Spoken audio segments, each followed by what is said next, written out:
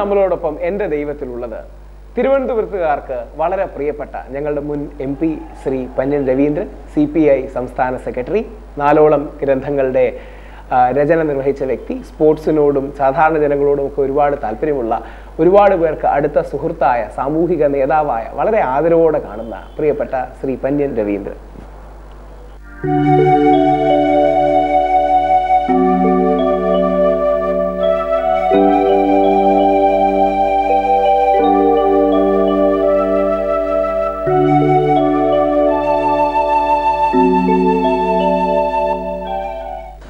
എന്റെ ദൈവം എന്നാണ് നമ്മുടെ ഈ പരിപാടിയുടെ പേര്. അപ്പൊ ഈ ദൈവം എന്ന ചോദ്യം ഭൗതികവാദികളാണെങ്കിലും ആത്മീയവാദികളാണെങ്കിലും എപ്പോഴും ചിന്തിക്കുന്ന അല്ലെങ്കിൽ ഒരു ഉത്തരം കണ്ടെത്തുന്ന ചോദ്യമാണ്. അങ്ങയുടെ ജീവിതത്തിൽ ഇത്രയും കാലം എടുക്കുമ്പോൾ യഥാർത്ഥത്തിൽ നമ്മൾ ഈ നോർമലി കാണുന്നതിനപ്പുറം എന്തെങ്കിലും മിസ്റ്റീരിയസ് എന്നോ നിഗൂഢമെന്നോ ആദിഭൗതികമെന്നോ വിളിക്കുന്ന എന്തെങ്കിലും ഉണ്ട് എന്നൊരു അഭിപ്രായമുണ്ട്? ഇല്ല എനിക്ക് ഇതുവരെ അങ്ങനെ ഒരു ഫീലിംഗ് ഉണ്ടായിട്ടില്ല. അതിന് കാരണം ഞാൻ ജീവിച്ച സാഹചര്യം തന്നെയാണ്. എന്റെ അമ്മ. അമ്മയാണ് എന്റെ എല്ലാം എല്ലാം അമ്മ യഥാർത്ഥത്തിൽ ഒരു പച്ച മനുഷ്യ സ്ത്രീയായിരുന്നു. അവർക്ക് ജീവിതത്തിനുണ്ടാകുന്ന ഒരുപാട് വിഷമങ്ങൾ അനുഭവമുണ്ട്. അനുഭവത്തിന്റെ അടിസ്ഥാനത്തിലാണ് അവർ നമ്മളെ വളർത്തിയത്. കഷ്ടപ്പാടിന്റെയും അതുപോലെ വിഷമത്തിന്റെയും ഭക്ഷണം കഴിക്കാനില്ലാത്തൊരവസ്ഥയുടെയും എല്ലാം ദുരിതത്തിൽ കൂടി വളർത്തി. അതുകൊണ്ട് അമ്മയ്ക്ക് ഒരിക്കലും ദൈവത്തിന്റെ ഒരു വിശ്വാസമേ ഇല്ലായിരുന്നു. മാത്രമല്ല മരിച്ച ഇപ്പോൾ പോലും അമ്മ മരിക്കുന്നതിന് മുമ്പ് എന്നോട് പറഞ്ഞിരുന്നു ഞാൻ മരിച്ചാൽ ഒരു ചടങ്ങും വേണ്ട. എന്നെ കൊണ്ടുപോയി അവിടെ കൊണ്ടുപോയി കത്തിച്ച്. ആ കത്തിച്ചതിന് ശേഷം പിന്നെ അന്നോട്ട് എല്ലാം തീർക്കണം വേറൊരു ഏർപ്പാടും വേണ്ട. അപ്പം അങ്ങനെ ഒരു വലിയ ധാരണ മനസ്സിൽ സൂക്ഷിച്ച ഒരാളാണ് എന്റെ അമ്മ.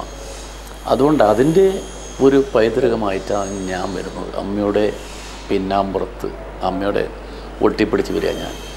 അതുകൊണ്ട് സാധാരണ ഇതുപോലുള്ള കാര്യങ്ങൾ വീട്ടിൽ നിന്നാണ് ഈ ഭക്തിയും ഒക്കെ വരുന്നത്. അങ്ങനെയുള്ളൊരു ഫീലിംഗ് എനിക്ക് ഉണ്ടാകാൻ വന്നില്ല പക്ഷേ അങ്ങയുടെ ഒരു ജീവിതത്തിൽ അങ്ങക്ക് ഒരുപാട് ചിന്തിക്കുന്ന നല്ലധികം പുസ്തകങ്ങൾ എഴുതിയ ഒരു വ്യക്തിയാണ് ആശയങ്ങളുമായിട്ട് മേൽപ്പിടുത്തം നടത്തുന്ന ഒരു വ്യക്തിയാണ്. നമ്മൾ ഈ നോർമലി കാണുന്ന ഈ സാധാരണക്കാർ പലപ്പോഴും അന്ധവിശ്വാസികളാണ്. ആ അന്ധവിശ്വാസം മാറ്റിവെച്ചാൽ ആശയപരമായി തന്നെ ഇപ്പൊ ശ്രീനാരായണ ഗുരുദേവനൊക്കെ പറയുന്നത് പോലെ ഒരു ആത്മീയതയോ അല്ലെങ്കിൽ ഇതിനെല്ലാം അപ്പുറം ഒരു ശക്തിയുണ്ട്. അതാണ് ഇന്ന് ഏറ്റവും കൂടുതൽ പറഞ്ഞു കേൾക്കുന്ന ഒരു വാദഗതി. ഇതിനെല്ലാം അപ്പുറം ഒരു ശക്തി ഉണ്ടെന്ന് പറയുന്ന രീതിയിലോ ഗാന്ധിജി പറയുന്ന രീതിയിൽ എന്തെങ്കിലും നമ്മൾ നോർമൽ കാണുന്ന രീതിയിൽ സാമാന്യ യുക്തിക്ക് അതീതമായി മിസ്റ്റീരിയസ് എന്ന് വിളിക്കാൻ കഴിയുന്ന ഒരു കാര്യം ഇല്ല എന്ന് ധാരണയുണ്ടോ ഉണ്ട് എന്ന് ധാരണയുണ്ടോ അതോ എനിക്ക് അറിയില്ല എന്നുള്ളതാണോ? ഒരു അഗ്നോസ്റ്റിക് അത് എന്താ കാരണം എന്ന് പറഞ്ഞാൽ നമ്മൾ ഏത് കാര്യത്തെയും നമ്മൾ നേരിട്ട് കാണാനുള്ള കാഴ്ചയുള്ള കണ്ണുകളുണ്ട് നമുക്ക്. കണ്ണിലാണല്ലോ കാണുന്നത്. നമ്മൾ പറയുന്ന എന്തെങ്കിലും ഒരു കാരണമുണ്ടെങ്കിൽ നമ്മൾ കാഴ്ചയിൽ അത് പെടണം. അല്ലെങ്കിൽ നമ്മൾ അറിയണം ഏതെങ്കിലും രീതിയിൽ. ഇന്നാണെങ്കിൽ ടെക്നോളജി ഒരുപാട് മാറി വന്നു. ഇതുവരെയായിട്ട് അങ്ങനെ ഒരു ഇൻസിഡന്റ് എന്റെ ശ്രദ്ധപ്പെട്ടിട്ടില്ല ഒന്ന്. പിന്നെ ഞങ്ങൾ കമ്മ്യൂണിസ്റ്റുകാരെ കുറിച്ച് പൊതുവൊരു ധാരണയുണ്ട്. ഞങ്ങൾ ആചാര്യം പണ്ട് പറഞ്ഞ പോലും മതം മനുഷ്യനെ മയക്കുന്ന കറുപ്പാണെന്ന്. അത് നമുക്കെതിരെയുള്ള വലിയ ആയുധമാണ് മതം മനുഷ്യനെ മയക്കുന്ന കറുപ്പാണെന്ന്. അദ്ദേഹം അതിനെ കൂടിയൊരു വാക്കുകൂടി പറഞ്ഞു. എന്നാൽ കട്ടപ്പെടുന്നവൻ കണ്ണീരൊടുക്കുന്നവൻ ദരിദ്രനാരായണൻ അവർക്കൊക്കെ മനസ്സിനകത്ത് ഒരുപാട് ദുരിതത്തിന്റെ ഭാരമുണ്ടാവും. ആ ഭാരം ഇറക്കി വെക്കാനുള്ള അത്താണി കൂടിയാണ് മതം എന്നാണ്. മതമാണ് നമ്മുടെ എല്ലാ ഭാരവും ഇറക്കി വെക്കാനുള്ള ഒരു സാധാരണ ഇതിനെന്താ പറയുക? ഒരു സാധനം. അതാണ്. അപ്പം അതിന്റെ അർത്ഥം അവർ ദൈവത്തെക്കുറിച്ച് അങ്ങനെ നിഷേധിയായിട്ട് പറഞ്ഞിട്ടില്ല. ദൈവം വിശ്വസിച്ചോളൂ. മനുഷ്യന് നിന്റെ വിശ്വാസം നിന്നെ രക്ഷിക്കട്ടെ എന്ന് പറഞ്ഞല്ലേ? മനുഷ്യന്റെ വിശ്വാസം ഞാൻ ഒരിക്കലും എതിർക്കില്ല. കാരണം പലപ്പോഴും ഞാൻ പറയാറുണ്ട് വിശ്വാസികളോട് വിശ്വാസികൾ എനിക്ക് ഏറെ ബഹുമാനമാണ് എന്താ കാരണം? വിശ്വാസികൾക്ക് ഒരുപാട് തെറ്റ് ചെയ്യാൻ കഴിയില്ല. തെറ്റ് ചെയ്യുമ്പോൾ അവർക്ക് ഭയമുണ്ട് ദൈവത്തെ. ഞങ്ങൾക്ക് ഒരുപാട് തെറ്റ് ചെയ്യാൻ കഴിയില്ല. ഞങ്ങൾക്ക് ഭയമുണ്ടാരെ ജനങ്ങളെ. കാരണം ഞങ്ങൾ കൃത്യമായി നിരീക്ഷിക്കുന്ന ജനങ്ങളാണ് ആ ജനങ്ങളാണ് ഒരു കണക്കിൽ എന്റെ ദൈവം എന്ന് പറയുന്ന താങ്കൾ പറയുന്ന ദൈവം ആപേക്ഷികമായി പറഞ്ഞ ജനങ്ങളാണ്. അപ്പം വിശ്വാസം എന്ന് പറയുന്നത് മനുഷ്യന് അവന്റെ മനസ്സിലുള്ള ദുഃഖത്തിന്റെയും കഷ്ടപ്പാടിന്റെയും ഭാരമിറക്കി വെക്കാനുള്ള ഒരു നമ്മുടെ ആചാര്യം പറഞ്ഞത് ശരിയാണെന്ന് എനിക്ക് അപ്പോൾ തോന്നുക. അതുകൊണ്ട് അതിനെക്കുറിച്ച് ഒരുപാട് തർക്കിച്ചിട്ട് കാര്യമില്ല. കാരണം ലോകമുള്ള കാലത്തോളം ലോകത്തിനിപ്പോൾ എത്ര വയസ്സായെന്നുള്ളതിനെ പറ്റിയും വ്യക്തമായ ധാരണയില്ല കൃത്യമായില്ല. നമ്മളിപ്പോൾ പറയും ഏതാണ്ട് ലോകമുള്ള കാലത്തോളം ഇവിടെ ദൈവമുണ്ടെന്നും ഇല്ലെന്നുള്ള തർക്കമുണ്ടാവും. എന്നാൽ ആ തർക്കത്തിൽ ഏറ്റവും കൂടുതൽ ഒരു വ്യക്തത കാണിച്ചത് നമ്മളെ ഭാരതീയ പൈതൃകമാണ് ഇന്ത്യയുടെ പൈതൃകം. എത്ര ബൃഹത്താണ് നിങ്ങൾ മഹാഭാരതം? വ്യാസമുനി എഴുതിയിരിക്കുന്ന മഹാഭാരതം തന്നെ നമ്മുടെ രാജ്യത്തെ ഏറ്റവും വലിയ അലങ്കാരമാണ് സൗന്ദര്യമാണ് രാജ്യത്തിന് അടിത്തറയാണ് നമുക്കെല്ലാമാണ്. ഏത് കാര്യത്തെക്കുറിച്ച് ഒരു സംശയം വരുമ്പോൾ അവിടെ നമുക്ക് നോക്കാലോ. നോക്കിയാൽ തരുമല്ലോ അവിടെ മോഷണമുണ്ട് വ്യഭിചാരമുണ്ട് തട്ടിക്കൊണ്ടുപോകലുണ്ട് യുദ്ധമുണ്ട് യുദ്ധത്തിന് അന്ത്യമുണ്ട് യുദ്ധത്തിൽ കൂടി ഉണ്ടാകുന്ന നേട്ടങ്ങളുണ്ട് യുദ്ധത്തിലുള്ള നാശമുണ്ട് എല്ലാം ഉണ്ടല്ലോ. അങ്ങനെയുള്ള ഒരു രാജ്യത്തിന്റെ ഭാഗമാണ് നമ്മൾ നമ്മളെ മഹർഷി പെരുമാറാൻ വേണ്ടിയിട്ട് ആര് ചാർവാകൻ കപിലൻ കണാദൻ ദൈവമില്ലെന്ന് പറഞ്ഞവരാ. ദൈവമില്ലെന്ന് പറഞ്ഞവരുണ്ട് ഉണ്ടെന്ന് പറഞ്ഞവരുണ്ട് ദൈവത്തിന് രൂപമുണ്ടെന്ന് പറയുന്നവരുണ്ട് അരൂപിയാണെന്ന് പറയുന്നവരുണ്ട് നമ്മുടെ എല്ലാം നമ്മുടെ എല്ലാം ചേർന്ന ഇന്ത്യ. അത് ബഹുസ്വരത. അത് ഇന്ത്യയ്ക്ക് മാത്രമുള്ളതാണ് ലോകത്തിൽ അതുകൊണ്ടാണ് ആയിരത്തി എണ്ണൂറ്റി തൊണ്ണൂറ്റി മൂന്നിൽ സ്വാമി വിവേകാനന്ദൻ ചിക്കാഗോയിലെ പ്രസിദ്ധമായ പ്രസംഗം. ആ പ്രസംഗത്തിന് താങ്കളെപ്പോലെ വിവേകാനന്ദൻ ഒരു കൊച്ചു സന്യാസിയായിരുന്നു. സന്യാസി എന്ന് പറഞ്ഞാൽ കാഷായ വസ്ത്രം ഇട്ടിട്ട് അവിടെ പോയി പ്രസംഗിക്കാൻ ചെന്നപ്പോൾ ഒരു തലയിൽ കെട്ടുണ്ട് അപ്പോൾ ഇദ്ദേഹത്തെക്കുറിച്ച് ഈ ലോകത്തിന് എല്ലാ ഭാഗത്തുനിന്നും വന്ന പ്രമാണിമാരായ മതപണ്ഡിതന്മാർ ചോദിച്ചു ഇതാരേ ഈ പയ്യൻ? അവൻ ഭാരതീയനാണ് അന്ന് ഭാരതീയൻ എന്താ പറയുക. അദ്ദേഹം തുടങ്ങിയ എന്താ? തുടങ്ങിയത് ബ്രദേഴ്സ് ആൻഡ് സിസ്റ്റേഴ്സ് എന്നാണ് അവിടെ ലേഡീസ് ആൻഡ് ജെന്റിൽമാൻ എന്ന് പറഞ്ഞ് തുടങ്ങുന്നിരുന്ന അപ്പോൾ എല്ലാവരും ചോദിച്ചു ഇവൻ ആരാ ഇത്? ഇങ്ങനെ പറയാൻ. അപ്പം അന്ന് വിവേകാനന്ദ പറഞ്ഞു ഞാൻ ഭാരതീയനാണ് ഭാരതീയർ ലോകത്തിലെ എല്ലാ മനുഷ്യരെയും ഒരു കുടുംബമായി കാണുന്നു. എല്ലാ മതങ്ങളെയും മനുഷ്യരെയും. ഒരുപക്ഷെ ലോകത്തിൽ ഇത്രയധികം മതങ്ങളൊരു രാജ്യം ലോകത്തിലുണ്ടോ? ലോകത്തിലുള്ള എല്ലാ മതങ്ങളും ഇവിടെയുണ്ട്. ഇവിടെ മാത്രം ജനിച്ച മതങ്ങളുമുണ്ട്. ബുദ്ധമതം ജൈനമതം ഇവിടുന്ന് മാത്രമുള്ളതാണ് അപ്പം ഇത്ര വലിയൊരു ബൃഹത്താ രാജ്യം ആ രാജ്യത്തിന് പ്രതിനിധിയായിട്ട് അദ്ദേഹം പോയി. ആരും ഗൗനിച്ചില്ല. പക്ഷെ അദ്ദേഹം പത്ത് മിനിറ്റ് കൊണ്ട് ലോകത്തിലെ സകല മതപുരോഹിതന്മാരെയും ഉള്ളം കയ്യിലെടുത്ത വലിയ മഹാത്മാവാണ് വിവേകാനന്ദൻ. അദ്ദേഹം പറഞ്ഞു എന്റെ രാജ്യം ലോകം ഒരു കുടുംബമാണ് വസുദൈവ കുടുംബം ഈ ലോകം ഒരു കുടുംബമാണ്. അത്ര വലിയ പാണ്ഡിത്യമുള്ള അത്ര വലിയ ജീവിതകാലം മുഴുവൻ എല്ലാമെല്ലാം സമൂഹത്തിന് വേണ്ടി അർപ്പിച്ച മനുഷ്യർ എത്ര പേരാ. ഒരുപക്ഷെ എനിക്ക് തോന്നുന്നത് രാമായണം ത്രേതായുഗത്തിലാ ശ്രീരാമൻ എന്നാണ് കൃതയുഗം ത്രേതായുഗം ദാപരയുഗം കലിയുഗം. ശ്രീരാമന്റെ ആ കാലത്താണ് ത്രേതായുഗത്തിലാണ് അന്ന് വിമാനം ഉണ്ടായിരുന്നു. നിങ്ങൾ നോക്കണം. നമ്മളെല്ലാം തുടങ്ങുന്നത് ഇന്നലെ ഇന്ന് നാളെ എന്നാണ് ഇന്നലെയുടെ പൈതൃകമുണ്ട്. ആ പൈതൃകമാണ് നമ്മളെല്ലാം. അന്നത്തെ യുദ്ധത്തിൽ ഉപയോഗിച്ചിരിക്കുന്ന അസ്ത്രം നിങ്ങൾ ശ്രദ്ധിച്ചോ? ഒന്ന് അഗ്നി കൊണ്ട് അസ്ത്രം ജലാസ്ത്രം ഇങ്ങോട്ട്. എന്ന് പറഞ്ഞാൽ അതൊക്കെ തന്നെ വളരെ കണിശമായി തീരുമാനിച്ച തീരുമാനത്തിന്റെ അടിസ്ഥാനത്തിൽ. ഒരുപാട് കാലത്ത് കണ്ടുപിടുത്താം ആ കണ്ടുപിടുത്തത്തിന്റെ മുന്നോട്ടുള്ള വളർച്ചയാണല്ലോ ഇപ്പോഴത്തെ ടെക്നോളജി. ഈ ടെക്നോളജി അതുമായിട്ടൊരു ബന്ധമുണ്ടെന്ന് നമ്മൾ പറയുമ്പോൾ ആളുകൾ പരിഹസിക്കും. സത്യം സത്യമല്ലേ? അതുകൊണ്ട് ഇന്ത്യ എന്ന രാജ്യത്തിനൊരു വലിയ പൈതൃകമുണ്ട്. ആ പൈതൃകം നന്മയുടെ പൈതൃകമാണ്. ഇന്നലകളെ മുഴുവൻ തമസ്കരിച്ചുകൊണ്ട് നമുക്ക് പുതിയൊരു കാര്യം സൃഷ്ടിക്കാം എന്നതിൽ നിന്ന് വിഭിന്നമായി ഇന്നലകളുടെ നന്മയെടുത്ത് മുമ്പോട്ട് കൊണ്ടുപോകാവുന്ന ഈ ആശയത്തിലേക്ക് ഇന്ന് എല്ലാ വിശാല ഇടത് പുരോഗമന പ്രസ്ഥാനങ്ങളും വരുന്നു എന്നൊരു കാഴ്ചപ്പാടാണ് ആയിരത്തി തൊള്ളായിരത്തി ഇരുപത്തൊന്നിലാണ് കോൺപൂരിൽ വെച്ച് ഇന്ത്യയിൽ കമ്മ്യൂണിസ്റ്റ് പാർട്ടി ഉണ്ടാകുന്നത്. കമ്മ്യൂണിസ്റ്റ് പാർട്ടി രൂപീകരിക്കുന്ന കാലത്ത് നമ്മൾ ആലോചിച്ചിരിക്കുന്നത് വിശ്വവിപ്ലവത്തെക്കുറിച്ച് ആലോചിച്ചത്. ലോകം മുഴുവൻ ഒരു വിപ്ലവം. ആ വിശ്വവിപ്ലവത്തെക്കുറിച്ച് ആലോചിക്കുമ്പോൾ എന്താ? നമുക്ക് പലപ്പോഴും ഈ വിശ്വോത്തരമായ കാര്യങ്ങളെക്കുറിച്ചുള്ള ചിന്തയേ ഉള്ളൂ. അതിന്റെ ഫലം ഇന്ത്യയുടെ പൈതൃകത്തെക്കുറിച്ച് നമ്മൾ വേണ്ടത്ര ശ്രദ്ധിച്ചില്ല. രാമായണമോ മഹാഭാരതമോ ഉപനിഷത്തുകളോ വേദങ്ങളോ പുരാണങ്ങളോ ഇവയൊന്നും നമ്മൾ ശ്രദ്ധിച്ചില്ല. അത് നമുക്കൊരു കുഴപ്പമാണെന്ന് പിന്നീട് നമ്മൾ തിരിച്ചറിഞ്ഞു. അതിന്റെ ഭാഗമാണ് നമുക്ക് ഓർമ്മയുണ്ടാകും ജി അധികാരി എന്ന് പറയുന്ന പാർട്ടി സെക്രട്ടറി. എന്നൊരു കെ എന്ന് പറയുന്ന ഫിലോസഫർ. മനുഷ്യനുൾപ്പെടെയുള്ള പ്രധാനപ്പെട്ട പുസ്തകങ്ങളും ദാമോദരന്റെയാണ് ഇവിടെ എൻ ബാലറാം നമ്മൾ ഇതുപോലുള്ള ആളുകൾ ഇതിനെക്കുറിച്ച് ശരിക്കും അപഗ്രഥനം നടത്തി. ആ നടത്തിയതിന്റെ അടിസ്ഥാനത്തിൽ താങ്കൾ നേരത്തെ പറഞ്ഞ പോലെ നന്മയുടെ ഭാഗങ്ങൾ തിരിച്ചറിഞ്ഞു. മാത്രമല്ല സത്യത്തിന്റെ വേരുകൾ എവിടെ വരെ പോയി എന്ന് ശരിക്കും കണ്ടെത്തി. അങ്ങനെ കണ്ടെത്തുമ്പോൾ തന്നെ നമുക്ക് നമ്മുടെ രാജ്യത്തെ കുറച്ച് അഭിമാനം വേണം. നമ്മൾ നമ്മുടേതായ സ്വന്തം ഫിലോസഫി നമ്മൾ പലപ്പോഴും കൈവിട്ടു പോയി അതിൽ നിന്ന് നമുക്ക് തിരിച്ചു വരണം. സത്യത്തിന്റെ വേരുകൾ തേടി പുറപ്പെട്ട് ആ വേരുകൾ നമുക്ക് കയ്യിൽ കിട്ടിയപ്പോൾ നമ്മൾ അതിനെക്കുറിച്ച് ശരിക്കും പഠിക്കാൻ ബാധ്യസ്ഥരാണ് അല്ലെങ്കിൽ നമ്മൾ ഇന്നും ആ താമസത്തിൽ തന്നെയായിരിക്കും. ഇവിടെ എന്താ ഉണ്ടായത്? ഇന്ത്യൻ ദേശീയ പ്രസ്ഥാനത്ത് നയിച്ച മഹാത്മാഗാന്ധി ഗാന്ധി. നമുക്കൊരിക്കലും അവഗണിച്ച് പോകാൻ കഴിയില്ലല്ലോ. ഗാന്ധി ഇന്ത്യൻ ജനങ്ങളെ ആകമാനം ഏകോപിപ്പിച്ചാണ് അണിനിരത്തി. ഗാന്ധി എന്ത് ചെയ്തെന്ന് പറഞ്ഞാൽ വളരെ ശ്രമകരമായൊരു ജോലിയാണ് ഗാന്ധി ഏറ്റെടുത്തത്. അദ്ദേഹം വിദേശത്ത് നിന്ന് തിരിച്ച് വിദ്യാഭ്യാസം പൂർത്തിയായ നാട്ടിലെത്തിയപ്പം ആദ്യം ചെയ്ത കാര്യം ഇന്ത്യയെക്കുറിച്ച് പഠിച്ചു. ആ പഠിച്ചത് എങ്ങനെയാണ് ജനങ്ങളെ നേരിട്ട് കണ്ട് പഠിച്ചു. നമ്മുടെ ഗ്രാമങ്ങളെന്ന് പറയുന്നത് പാവപ്പെട്ട മനുഷ്യർ ഓടുതുണിക്ക് മറുതുണിയില്ല. ഇത് കണ്ടപ്പോൾ ഗാന്ധി ധരിച്ചു എടാ ഇവരല്ലേ നമ്മുടെ ഇന്ത്യയിലെ ജനങ്ങൾ? അവരെ സംയോജിപ്പിക്കണ്ടേ? അതിനെന്താ വഴി? അദ്ദേഹം ഗാന്ധി സ്വയം തീരുമാനമെടുത്ത് എല്ലാ വസ്ത്രവും മാറ്റി. എന്ന് പറഞ്ഞാൽ പാൻസും കോട്ടും സ്യൂട്ടും ഷൂവും എല്ലാം മാറ്റി. ഒറ്റ മുണ്ടും ഒരു തോർത്തും ഒരു വടിയുമായി രാജ്യത്ത് നടന്നു. ഇതാണ് ഇന്ത്യ. ഈ പട്ടിണിപ്പാവങ്ങളുടെ ഇന്ത്യയാണ്.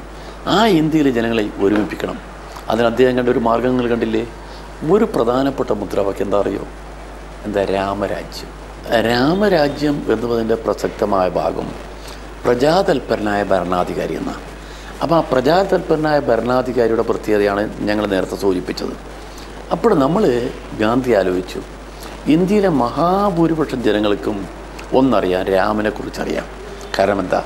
അവർ സന്ധ്യാ നേരത്ത് നാമം ജപിക്കും. രാമ രാമ രാമ. ഇത് മനുഷ്യന്റെ മനസ്സിൽ എപ്പം പ്രതിഷ്ഠിച്ച് വെച്ചിരിക്കുന്ന ഒരു പേരാ രാമ. അത് വെച്ചുകൊണ്ട് അദ്ദേഹം പറഞ്ഞു ഇന്ത്യയ്ക്ക് ഇതാണ് നല്ലത് രാമരാജ്യം.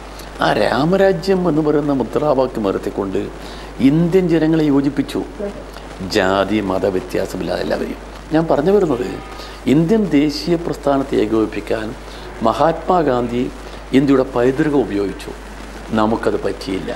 ആ പെശകാണ് കമ്മ്യൂണിസ്റ്റ് പ്രസ്ഥാനത്തിന് ഇന്ത്യയിൽ പറ്റിയ പെശകൾ സൂചിപ്പിക്കാനാണ് ഇത്രയും പറയുന്നത്. അത് അതിനോട് സമാനമായ ഒരു ചോദ്യം തന്നെ. ഇപ്പൊ ലാറ്റിൻ അമേരിക്കയിൽ പള്ളിയിലച്ചന്മാരോടും ക്രിസ്ത്യൻ മതപുരോഹിതരും ചേർന്ന ഒരു ലിബറേഷൻ തിയോളജി ഒരു ക്രിസ്ത്യാനിറ്റിയും മാർക്സിസവും തമ്മിലുള്ള ബ്ലഡ് പാവപ്പെട്ടവർക്ക് വേണ്ടി ഒരുമിച്ച് നിൽക്കുന്ന അതേ അർത്ഥത്തിൽ ഇന്ത്യയിലൊരു ആ അർത്ഥത്തിൽ ഒരു ലിബറേഷൻ സ്പിരിച്വാലിറ്റി ഒരു ആത്മീയ അല്ലെങ്കിൽ വിമോചന ആത്മീയ ശാസ്ത്രമോ ആത്മീയതയോ എന്ന രീതിയിൽ ഇവിടുത്തെ സന്യാസി വര്യന്മാർ വെച്ച് നമ്മുടെ ശ്രീനാരായണ ഗുരുവിന്റെ പാരമ്പര്യം പേർന്നവരോട് ഒരുപാടുണ്ട്. അവരോട് ചേർന്ന് നിന്നും നമ്മൾ എന്തൊക്കെ ഇല്ല എന്ന് പറഞ്ഞാലും ജാതീയതയുടെ പ്രശ്നങ്ങളുണ്ട്. ഇന്നും ദാരിദ്ര്യം വളരെയധികം പ്രശ്നങ്ങളുണ്ട്. നമ്മുടെ നാട്ടിൽ ശൗചാലയങ്ങൾ കുറവുണ്ട്. ആ അർത്ഥത്തിൽ ആത്മീയ പ്രസ്ഥാനങ്ങളോട് ചേർന്ന് നിന്ന് ഒരു ഒരുമിച്ചുള്ള ചൂഷണത്തെ ഒരുമിച്ച് എതിർത്തുകൊണ്ടുള്ള ഒരു മുന്നേറ്റം അത് കമ്മ്യൂണിസ്റ്റ് പാർട്ടികൾക്ക് സാധ്യമാകും. അല്ല അത് പറയുമ്പോൾ ഞാനൊരു കാര്യം പറയാം. ഞങ്ങൾ കുറേ കൂടി വിശാല ഹൃദയമുള്ള ആളുകളാണ്. കാർൽ മാർക്സാണ് കമ്മ്യൂണിസ്റ്റ് മാനിഫെസ്റ്റോ എഴുതിയത് ആയിരത്തി എണ്ണൂറ്റി നാൽപ്പത്തെട്ടിൽ അദ്ദേഹം പറഞ്ഞൊരു കാര്യമുണ്ട്. ലോകത്തിൽ ഈ തർക്കം താങ്കൾ പറഞ്ഞ തർക്കം ഒരുപാട് വന്നപ്പോൾ അദ്ദേഹം ചോദിച്ചു ലോകത്തിൽ ഒരുപാട് മതങ്ങളുണ്ട്. ആ മതങ്ങൾ ഇഷ്ടംപോലെ മതങ്ങളുണ്ട്. മതപ്രവാചകന്മാരുണ്ടായിരുന്നു. ഇതുപോലെ ദാർശനികന്മാരുണ്ടായിരുന്നു. എന്തിന് ഹെഗലിനെ പോലെ സോഷ്യലിസ്റ്റെ കുറിച്ച് പറഞ്ഞ ആളുകളുണ്ടായിരുന്നു. ഇതൊക്കെ വെച്ചിട്ട് അദ്ദേഹം ചോദിച്ചു എല്ലാവരും പറയുന്നത് സകല മതങ്ങളും പറയുന്നത് എന്താ? മനുഷ്യന് സ്വർഗരാജ്യമെന്ന് ആ സ്വർഗരാജ്യം മരിച്ചാലാ. എനിക്കൊരു ക്വസ്റ്റ്യനേ ഉള്ളൂ. നമുക്കെല്ലാവർക്കും കൂടി ചേർന്ന് ഈ ലോകത്തിലെ പട്ടിണി മാറ്റാൻ കട്ടപ്പാട് മാറ്റാൻ നമുക്ക് ഒരുമിച്ച് നോട്ട്. ഒരു മുദ്രാവാക്യം. നിങ്ങളുടെ നിങ്ങളുടെ വിശ്വാസം ആയിക്കോട്ടെ മതവിശ്വാസം ആയിക്കോട്ടെ ഞങ്ങൾ രാഷ്ട്രീയ വിശ്വാസം ആയിക്കോട്ടെ വിശ്വാസിയും അവിശ്വാസിയും എല്ലാം കൂടി ചേർന്ന് ഈ ദുരിതം മാറ്റാൻ നമുക്ക് ഒരുമിച്ച് നിന്നൂടെ. ആ പോ ആ ഒരു മുദ്രാവാക്യം അന്ന് മാർച്ച് പറഞ്ഞതാണ്. മാർച്ച് അന്നേ പറഞ്ഞ. മാർക്സ് ആ കാര്യത്തിൽ വിശാലകൃതിന. ഇന്ന് പലരും മാർച്ചത്തെ കൊണ്ടുപോയി വളച്ചൊടിച്ച് കൊണ്ടുപോയി അവരുടെ ആവശ്യത്തിന് കൊണ്ട് ഉപയോഗിക്കുക. അവിടെ കുഴപ്പം. മാർച്ച് പറയാത്ത കാര്യം മാർച്ചിന്റെ പേരിൽ പറയുക മാർച്ച് എന്ന് കമ്മ്യൂണിസ്റ്റ് മാനിഫെസ്റ്റോ എഴുതുമ്പോൾ അദ്ദേഹം പറഞ്ഞു എഴുതിയപ്പോൾ പറഞ്ഞു ലോകത്തിൽ വരുന്ന മാറ്റങ്ങൾക്കനുസരിച്ച് ഇതിനെ വിപുലീകരിക്കണം. ഇത് ഒരടിത്തറ മാത്രമാണ്. നമ്മളൊരടിത്തറ ഉണ്ടാക്കിയാൽ പിന്നെ അതിന് മുകളിൽ നമ്മൾ കെട്ടിടം ഉണ്ടാക്കുന്നു. ആ കെട്ടിടത്തിന്റെ മനോഹാരിത അതിന് വ്യത്യസ്തത ഉണ്ടാക്കുന്നു. പക്ഷേ ബലമുള്ള അടിത്തറ വേണം. അടിത്തറയാണിത്. എന്ന് പറഞ്ഞാൽ സമൂഹത്തിന്റെ ഒരു മൊത്തത്തിലുള്ള ഒരു ചേഞ്ച് അവർക്ക് ഈ ലോകത്തിലുള്ള എല്ലാം എല്ലാവർക്കും ഒരുപോലെ അനുഭവിക്കാനുള്ള സംവിധാനം ഉണ്ടാകണം കാരണം മനുഷ്യനെങ്ങനെയല്ലോ അത് തന്നെ- അത് തന്നെ. അതാന്ന് പറഞ്ഞാൽ നമ്മൾ തമ്മിൽ തർക്കമില്ല. ആത്മീയതയും ഭൗതികം തമ്മിൽ തർക്കിക്കേണ്ട കാര്യം മാർച്ച് പറഞ്ഞതാണ് മാർച്ച് നിഷേധി. മാർച്ച് നിഷേധിയല്ല. മാർച്ച് യാഥാർത്ഥ്യ ബോധത്തെ ശരിക്കും കാണുന്നയാളാണ് നിഷേധി എന്ന് പറയുന്ന ഒരു വാക്കിൽ അദ്ദേഹമില്ല. അദ്ദേഹം പറഞ്ഞു ലോകം എന്ന് പറഞ്ഞ ചലനാത്മകമാണ് മാറിക്കൊണ്ടിരിക്കുന്നത് അറിയാലോ നമ്മൾ ഭൂമി ഉണ്ടാകുന്ന കണ്ടുപിടിച്ചപ്പോൾ എന്തൊരു കോലാഹലായിരുന്നു ആ മാറിക്കൊണ്ടിരിക്കുന്ന ലോകത്തിൽ മാറാത്ത ഒന്നേ ഉള്ളൂ മാറ്റം എന്ന വാക്ക് മാത്രം. അൻപത് വർഷത്തെ ഇടതു പക്ഷ പ്രസ്ഥാനങ്ങളും വിശ്വാസ പ്രസ്ഥാനങ്ങളും അല്ലെങ്കിൽ ആത്മീയ പ്രസ്ഥാനങ്ങളും തമ്മിൽ ഒരു ഗ്യാപ്പ് പലപ്പോഴും ഉണ്ടായിരുന്നു. ആ ഗ്യാപ്പ് ഭാവിയിലേക്ക് ഫിൽ ചെയ്യാൻ. കാര്യം ഒരു പ്രസക്തമായ ചോദ്യം ഇനിയും കോർപ്പറേറ്റ് മേഖല കടന്നു വരുന്നു. ഒരുപാട് ചൂഷണം നടത്തുന്ന ഒരു മേഖലയാണ്. ആരും വെളിയിൽ പറയാൻ പേടിക്കും. നമ്മുടെ ഐ ടി കമ്പനികളിലടക്കം തീർച്ചയായും സമ്പത്ത് വരുന്നുണ്ട് ജോലികളുണ്ട്. ഇവിടെ പോലും ഒരു എക്സ്ട്രീം റൈറ്റ് വിങ് എക്സ്പ്ലോയിറ്റേഷൻ പലപ്പോഴും നടക്കുന്നു. വിശ്വാസത്തിന്റെ മേഖലകളിൽ നടക്കുന്നുണ്ട്. ചൂഷണം ഭക്തിയുടെ ഒരു ചൂഷണം നടക്കുന്നുണ്ട്. അപ്പോൾ ഒരു ആത്മീയവാദിക്കോ ഒരിക്കലും യോജിക്കാൻ കഴിയാത്തതാണ്. ഇന്നും ജാതീയമായ പ്രശ്നങ്ങൾ കർണാടകയിലും തമിഴ്നാട്ടിലും അടക്കം ഇപ്പോഴും പല സ്ഥലങ്ങളിലുണ്ട്. അപ്പോൾ ഇതിനെതിരെ ഓൺ ഗ്രൗണ്ട് ഒരുമിച്ച് നീങ്ങാൻ അങ്ങനെ ഒരു ഒരു ചിന്താ പദ്ധതികൾ ഇടതുപക്ഷ മനസ്സുകളിൽ ഇപ്പോഴും ഉണ്ട് തീർച്ചയായിട്ടും അതൊരു വലിയ ചിന്താധാരയാണ്. കാരണം വേൾഡിലിപ്പം കോർപ്പറേറ്റുകളുടെ ചൂഷണത്തിന്റെ വഴി കൂടിക്കൂടി വന്നു. ഇപ്പം മനുഷ്യനൊരു പ്രസക്തിയില്ലാതായി. ടീമേയിൽ എത്ര മണിക്കൂറാണ് ജോലി ചെയ്യുന്നത്? അപ്പോൾ ചൂഷണത്തിന്റെ പുതിയ പുതിയ ശൃംഖലകൾ വന്നുകൊണ്ടിരിക്കുന്നു. അതുകൊണ്ടാണ് അമേരിക്കയിൽ നിങ്ങൾക്കറിയാം വാർഷികത്തിൽ നടന്നൊരു വളരെ പ്രസിദ്ധമായ സമരമുണ്ടല്ലോ. ആ സമരം ചെറിയ സമരമല്ല ഐ ടി മേഖലയിൽ പണിയെടുക്കുന്ന ചെറുപ്പക്കാരും ചെറുപ്പക്കാരികളും അവർ ജീവിക്കാൻ വേണ്ടിയുള്ള സമരമാണിത്. എന്ന് പറയാൻ നേരത്തെ നമുക്ക് പഠിച്ചു കഴിഞ്ഞാൽ ഒരു ഗുണം എന്താ? പഠിച്ച് നമുക്കൊരു ജോലി കിട്ടും. ഇപ്പോൾ ഒരു സർക്കാർ ജോലി കിട്ടിയെന്ന് വെച്ചോ? സർക്കാർ ജോലി കിട്ടിയാൽ ഒരാൾക്ക് ഗ്യാരണ്ടിയാണ് അയാൾക്ക് മാത്രമല്ല കുടുംബത്തിനും ഗ്യാരണ്ടിയാണ് അമ്പത്തഞ്ച് വയസ്സ് അമ്പത്തഞ്ച് വയസ്സ് കഴിഞ്ഞാൽ പെൻഷൻ കുടുംബ പെൻഷൻ സെക്യൂരിറ്റി ഇപ്പോഴോ ഇപ്പോഴതില്ല. നിങ്ങളെ ഊർജം മുഴുവൻ ഊറ്റി കുടിച്ച് നിങ്ങളെങ്ങ് വലിച്ചെറിയും ചണ്ടി അതെ. അതാണ് നമ്മുടെ ലോകത്തിൽ വന്നിരിക്കുന്ന പുതിയ. ആ ലോകത്തിലെ ചൂഷണ രീതികൾക്കെതിരായി ഒരു വലിയ പോരാട്ടത്തിന് വേണ്ടി ഒരു ഐക്യമന്യ പ്രസ്ഥാനം വരുന്നത് നല്ല കാര്യമാണ്. അത് അത് മത പുരോഹിതന്മാരും ആത്മീയ പിന്നെ വാദികളും എല്ലാം കൂടി ചേർന്ന് വരുന്നത് നല്ല കാര്യമാണ്. അത് തീർച്ചയായും നമ്മൾ ഉൾക്കൊള്ളുന്നതാണ്. നമുക്കതിനോട് വളരെ യോജിപ്പുള്ള കാര്യമാണ് താങ്കൾ പറഞ്ഞ കാര്യത്തോട്. ഇതൊരു നല്ല കാര്യമാണ്. സ്പിരിച്വലായി ചിന്തിക്കുന്ന ആളുകളും നിങ്ങൾക്ക് നിങ്ങൾക്ക് നമ്മുടെ രാജ്യത്തിന് തന്നെ അതിന്റെ ഒരു വലിയ ചരിത്രമില്ലേ? രാജ്യത്ത് ആദ്യത്തെ പ്രധാനമന്ത്രി പണ്ഡിറ്റ് ജവഹർലാൽ നെഹ്റു. നെഹ്റു അന്ന് ഇന്ത്യൻ ദേശീയ പ്രസ്ഥാനത്തിന്റെ മുദ്രാവാക്യമായിരുന്നു എല്ലാ മതക്കാരും ഒരുമിച്ച് ചേർന്ന് ജീവിക്കുക എന്നുള്ളത്. അതാണ് നമ്മളെ മതനിരപേക്ഷത എന്ന് പറയുന്നത് എല്ലാ മതക്കാരും. ആ നെഹ്റു എന്ന് പറഞ്ഞ് ഞാൻ വിശ്വാസിയല്ല. ഞാൻ ദൈവവിശ്വാസിയല്ല. നിരീശ്വരവാദിയാണ്. എന്നാൽ ഇവിടെ ഒരുപാട് ദൈവവിശ്വാസികളുണ്ട്. മഹാഭൂരിപക്ഷവും വിശ്വാസമില്ലാത്ത ആളുണ്ട്. ഇവരെല്ലാവരും കൂടി ചേർന്ന ഇന്ത്യ. ഞാൻ ഒരു അമ്പലത്തിലും പോവില്ല ഒരു പള്ളിയിലും പോവില്ല ഒരു ദൈവത്തെയും പ്രാർത്ഥിക്കുന്നില്ല. ഞാൻ മരിച്ചു കഴിഞ്ഞാൽ എന്റെ ജഡം കൊണ്ടുപോയി ഗംഗയുടെ തീരത്ത് കൊണ്ടുപോയി അവിടെ കൊണ്ടുപോയി കത്തിക്കണം. എന്തിനു വേണ്ടിയാ? ചെറുപ്പകാലത്ത് കളിച്ച് വളർന്ന ഓർമ്മ ഒന്നുകൂടി എന്റെ മനസ്സിൽ കൊണ്ടുവരാൻ. ഇത് നെഹ്റു പറഞ്ഞതാ. അപ്പം നമ്മുടെ രാജ്യത്തിന് അങ്ങനെ ഒരു വലിയ പാരമ്പര്യമുണ്ട്. അതുകൊണ്ട് രാജ്യത്തിന്റെയും ജനങ്ങളുടെയും ക്ഷേമത്തിന് വേണ്ടി ലോകത്തിലെ മനുഷ്യരുടെ സുരക്ഷിതത്വത്തിന് വേണ്ടി അവർക്ക് മാനമായ ജീവിതത്തിന് വേണ്ടി. ഇപ്പം ജീവിതത്തിന്റെ സ്ഥിതി എന്താ നിങ്ങൾ നോക്കിയേ? ഇപ്പം നമ്മളെ സ്ത്രീകളുടെ സ്ഥിതികൾക്ക് എന്താ? എന്താ സ്ഥിതി? ഇപ്പം നമ്മുടെ നാട്ടിൽ തന്നെ ഇപ്പം ഏറ്റവും കൂടുതൽ വന്നിരിക്കുന്നത് എന്താ? ബിവറേജ് കോർപ്പറേഷൻ ഔട്ട്ലെറ്റുകൾ. അത് നമ്മുടെ നാട്ടിലൊരു വലിയ കൗതുകമാണല്ലോ. വേറെ എവിടെയും കാണാത്ത. ഈ ഔട്ട്ലെറ്റുകളിൽ വന്നിട്ട് പിന്നെ വാങ്ങിച്ചുകൊണ്ട് പോയിട്ടോ? നേരത്തെ ഉള്ള പോലെ ഇപ്പം കുടി. എത്ര കാശാ? ഈ കുടിച്ച് കഴിഞ്ഞാൽ വീട്ടിൽ ചെല്ലുമ്പം ഭർത്താവ് കള്ളും കുടിച്ച് വീട്ടിൽ ചെന്നിട്ട് കാശ് കൊടുക്കില്ല. അവളെ വല്ലാതെ തല്ലും. ഈ തല്ലുമ്പോൾ സഹിച്ചിട്ട് സ്ത്രീകൾ നിൽക്കണ്ടേ? കുടുംബങ്ങൾ അപതാളത്തിലാണ് അതുകൊണ്ട് വിശ്വാസിയും അവിശ്വാസിയും എന്ന വ്യത്യാസമില്ലാതെ എല്ലാവർക്കും ഈ ദുരിതങ്ങൾക്കെതിരായി നമുക്ക് ഒരുമിച്ച് നിൽക്കാൻ കഴിയണം. ഒരു ഐക്യമന്റെ പ്രസ്ഥാനം. ശ്രീ പന്യൻ രവീന്ദ്രൻ നമ്മളോടൊപ്പം സമയം ചെലവഴിച്ച ഒരു ഇന്ത്യൻ ഫിലോസഫിയിൽ അഗാധമായ ജ്ഞാനമുള്ള വ്യക്തി. രണ്ട് തലങ്ങളെയും സ്പർശിച്ചുകൊണ്ട് കമ്മ്യൂണിസ്റ്റിന്റെ തലങ്ങളെയും ഇന്ത്യൻ ഫിലോസഫിയുടെ തലങ്ങളെയും സ്പർശിച്ചുകൊണ്ടാണ് നമ്മളോട് സംസാരിച്ചത്. എന്റെ ദൈവം ജനങ്ങളിലൂടെ കാണുന്നു എന്നുള്ളതും ഒരുപക്ഷെ മാനവസേവ മാധവസേവയാണെന്ന് വിശ്വസിക്കുന്നവർക്ക് വളരെ ആശാവഹമായി എല്ലാ വിഭാഗങ്ങളെയും ഒരുമിച്ച് നിർത്തി മുമ്പോട്ട് പോകുന്ന അദ്ദേഹത്തെ പോലുള്ള നേതാക്കൾ നമുക്ക് ഉണ്ടാകട്ടെ വളരെയധികം നന്ദി ഞങ്ങളോട് സഹായിച്ചു